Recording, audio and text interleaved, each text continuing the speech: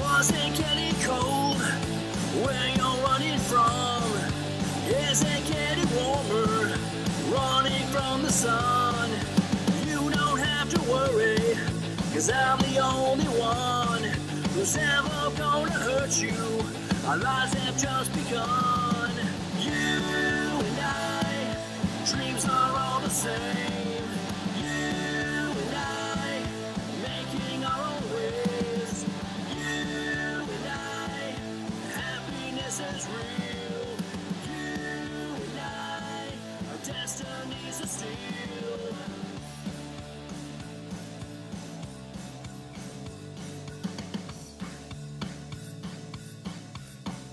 Do you say, John?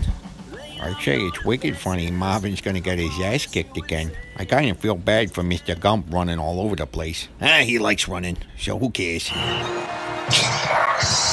He sure does. You think he'll ever figure it out? Nah, Marvin's too stupid to send him here. And you're talking about a guy who let fucking Jenny fuck him over for fucking years, so. Anyway, The Last Jedi. Yeah, I'd say this is the most controversial thing in the Star Wars universe since all the prequels. I only have one issue with The Last Jedi, and we'll go over that. But you can't make these fucking people happy. The Force Awakens is too much like A New Hope. The Last Jedi is too much of a departure. What the fuck do you assholes want? There's a whole set of books out there that everyone wanted as movies. I fucking wanted them as movies. Look at it this way you get multiple fucking stories.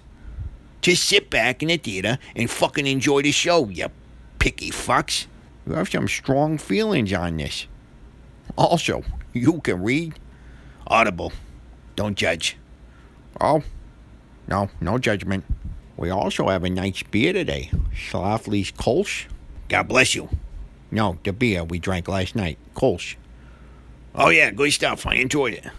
No shit. Probably a little too much. Hey, that lady had it coming. Really? Nobody deserves to see your balls on the bar. She said she hated hockey. And the lights were out. They were barely visible. Good grief.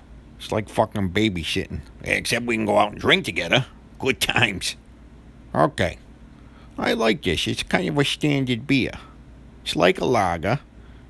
So it's a basic beer with some flavor. I'm gonna give it three out of six. Schlafly has some good beers that are better, that I prefer more. So I'm gonna give it three out of six. Well, I'm going to give it a balls out four. I liked it. Went down easy and was very refreshing. Good change from all the IPAs. All right, off to a galaxy far, far away. Yes. So one of the earliest scenes in the flicks is when Poe fucks with Hux. Tell your precious princess there will be no terms. There will be no surrender. Hi, I'm holding for General Hugs. Haha, funny start. Hello? Hello? Yep, I'm still here. Can you. Can he hear me? Hugs? He can. With an H? Skinny guy? Kind of pasty? funny stuff. He's basically fucking doing jerky boys in a galaxy far, far away. Look, I can't hold forever. If you reach him, tell him Leia has an urgent Message for him. I believe he's tooling with you, sir. He just fucking keeps screwing with the pasty little bastard. I really did enjoy the scene, and it takes off into some great action right off the top of the movie. It also takes us to a moment we all fucking waited for. When The Force Awakens ended, it left us with the cliffhanger Luke looking at his fucking old lightsaber. As a fucking hermit on an island, way off in East Buttfuck.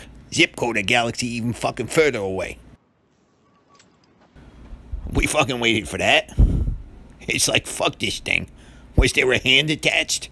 Because it was the last time I saw it. Yoda words your wisdom, or Rey, you're my daughter or granddaughter, or some fucking shit like that. And it just became sort of a, hey, he's like, I'm fucking retired, get out of here.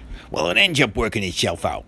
Adds a little more fucking drama to the whole thing. But the most dramatic of our scenes, and my only real fucking issue with this whole film, is the fast paced space chase. I mean, what the fuck? You have all these awesome spaceships, and it turns into a scene from Austin Powers. Watch out! Except there, they know they were being fucking ridiculous. We have this fucking chase where they're just waiting for them to run out of gas, where we go fucking 10 miles an hour. Holy shit, that's fucking stupid.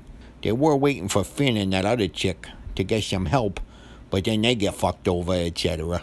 I like the film, other than the crawling space race there across the fucking galaxy, which could have been written a jump to light speed to a jump to light speed and they encounter all kinds of fucking things along the way. But I can say the people bitching that this was too different. No shit. That's what I liked about it. When you thought they were gonna zig, they zag. When you thought he was going right, he goes fucking left. When you thought he was gonna put it in the pussy, he sticks it in the ass. When you thought you get the Kessel run, you get Jabba strolling through the fucking sand. But it was great that he killed off characters. You wouldn't have thought he killed off. He kind of fucked JJ on the last one, but he was like, You killed Han, JJ? I'm gonna fucking kill Luke. Boom. Yeah, I enjoyed it. It wasn't my favorite, but it was good.